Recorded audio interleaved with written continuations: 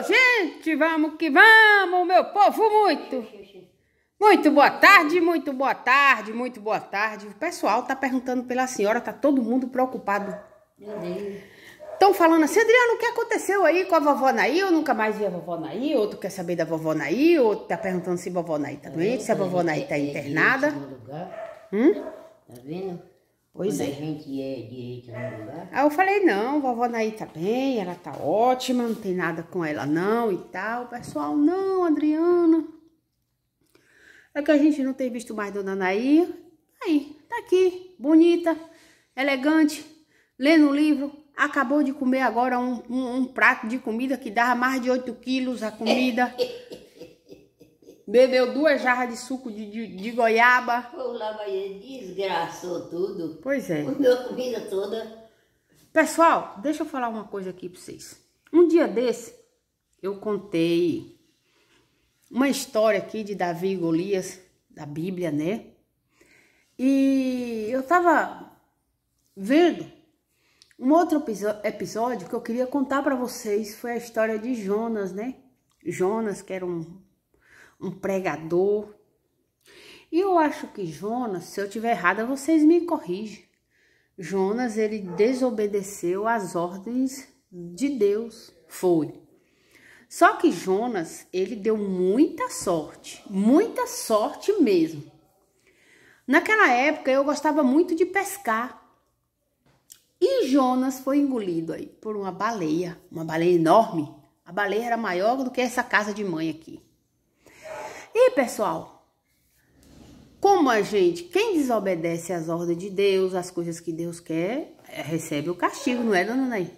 Não pode desobedecer, né? E daí, Jonas foi engolido por essa baleia. E eu estava lá na beira, lá do lago onde ele foi engolido, estava lá pescando. De repente, eu vi gritar e bater, toc, toc, toc, toc, e gritar. Saiu aquele eco assim. Eu falei, tem alguém dentro da barriga dessa baleia. E vai ser eu para salvar esse homem. Jonas estava lá dentro, sentado em cima do estômago da baleia. Aí eu, ai meu Deus, eu já tinha pegado umas traíras bonitas, umas traíras de 7, 8 quilos. E Jonas gritando dentro da barriga dessa baleia, e Jonas gritando. Aí eu, meu Deus, e agora? Eu comecei a nadar nesse rio e subi em cima da cabeça dessa baleia e segurei. Aí eu entrei. Eu fiz lá uma maracotaia. A baleia, plau, engoliu eu também. Eu falei, e agora? Quando eu desci, tá Jonas lá. Aí eu, ô Jonas, por que tu foi, tu, tu foi engolido por essa baleia? É porque eu desobedeci às ordens de Deus e a baleia me, me engoliu. Eu, e agora, cara, como é que nós vamos sair daqui de dentro? Eu falei, ó, vou fazer o seguinte. Eu vou começar a cantar uma música aqui e você vai começar a sambar em cima do estômago dela. E mesmo assim eu fiz. Comecei a cantar, comecei a cantar. Galopeira, vestido Não é vermelho. nada não. Minha aqui tá meio apagada. Ó, vestido vermelho que deu cigano. E Jonas dançando. E Jonas dançando. E eu comecei a cantar aquela outra música. Já tive mulheres de todas as cores, de várias idades e muitos amores. Eu samba, Jonas. Jonas sambando, sambando. A baleia foi enjoando. Ela começou a enjoar, sambando bem em cima do estômago dela. Ô, véia, não é nada não. A baleia deu uma vomitada, jogou eu e Jonas pra fora. Nós fomos parar do outro lado da lagoa. Aí, eu tá vendo, Jonas, o que é que você fez? Se eu não tivesse aqui nessa beira dessa lagoa, Jonas, pescando, tu ia ficar o resto da tua vida dentro da barriga dessa baleia, Jonas. Jonas, você tem que aprender uma coisa. As ordens do Senhor Jesus é para ser cumprida. Não é para ser desobedecida, não. Não é não, dona aí? Daqui a pouco o povo tá chegando aí na porta. Não, é o menino que vai da internet, vai fazer uma ligação ali no poste agora, esse barulho. Aí Jonas pegou e falou assim: É, eu sei que agora você vai contar isso aí para as pessoas e as pessoas vai querer ficar me criticando, dizer que eu fui salva por uma mulher, principalmente por uma mentirosa boca de tarrafa. Foi, Jonas ainda falou isso para mim. Eu salvei ele de dentro da barriga da baleia e ele e tive que escutar isso dele. A senhora acredita? Se fosse com a senhora, a senhora fazia o quê? Leva ele pros infernos. Pois, pois ele. Eu falei, mas Jonas, cadê a sua humildade, Jonas? Eu acabei de salvar você, Jonas. A baleia te engoliu. Aí tá certo. Deixei Jonas lá. Falei, ó, tu fica aí pescando que é pra gente fazer um cozido aqui na beira da, do lago, que eu vou ali. Saí, quando eu vou saindo assim, que eu entrei assim numa capoeirinha, eu vi um cavalo bonito, vem de lá, pá, pá, pá, pá, pá, quando eu olho São Jorge.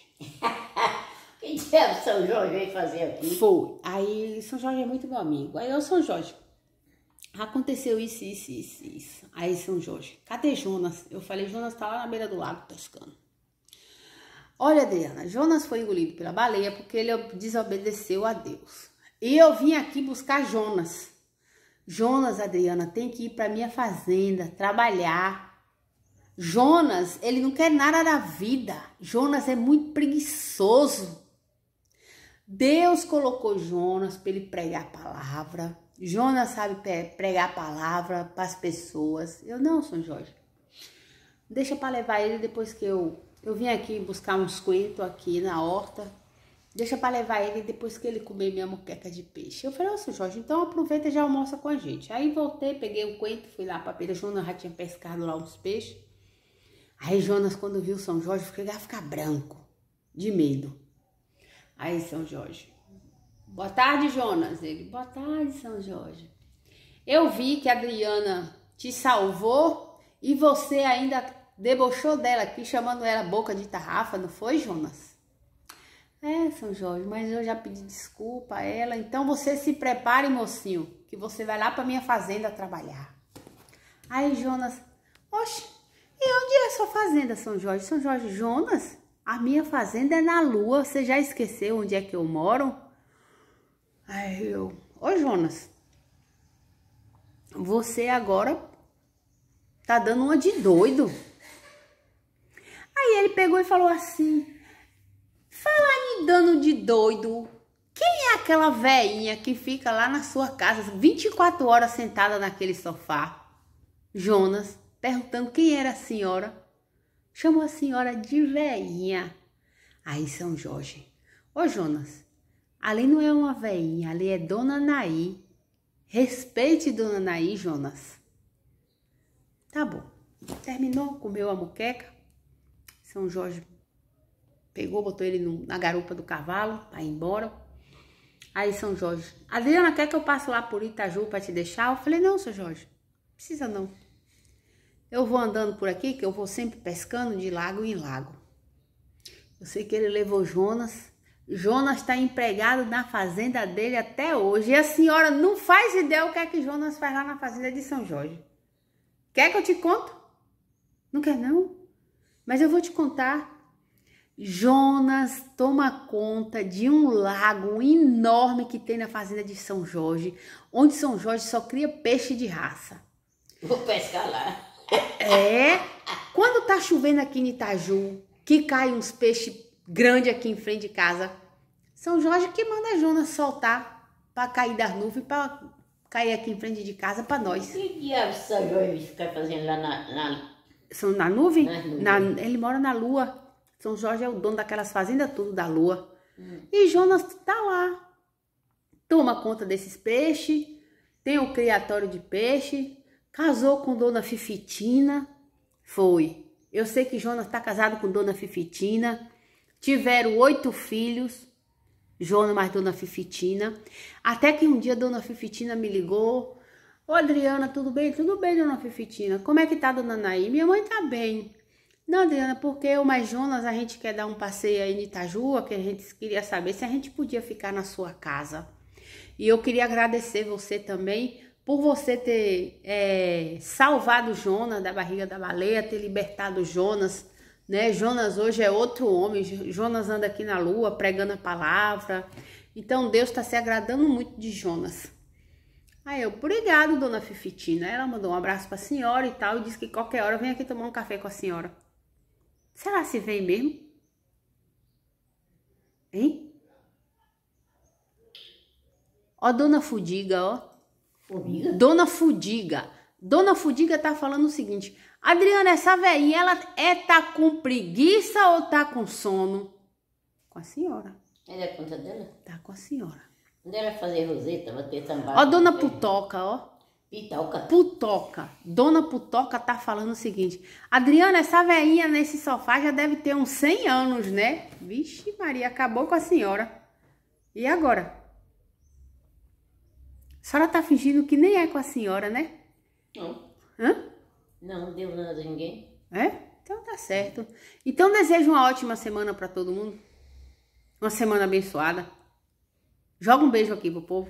Pra toda, pra o povo não. Pra gente ruim eu não jogo não. Misericórdia. É pra todo gente Fala, minha Nossa que Senhora. tá me, me escutando. Pronto, então tá bom. E vamos que vamos, meu povo. Um beijinho grande e carinhoso. Uma semana abençoada pra todos vocês.